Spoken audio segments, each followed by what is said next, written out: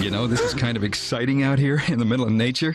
It's almost primal. For the first time, I'm experiencing the real Stu Pickles. Uncle Stu. What is it, Angelica? Out here, I feel we can really communicate. go to sleep.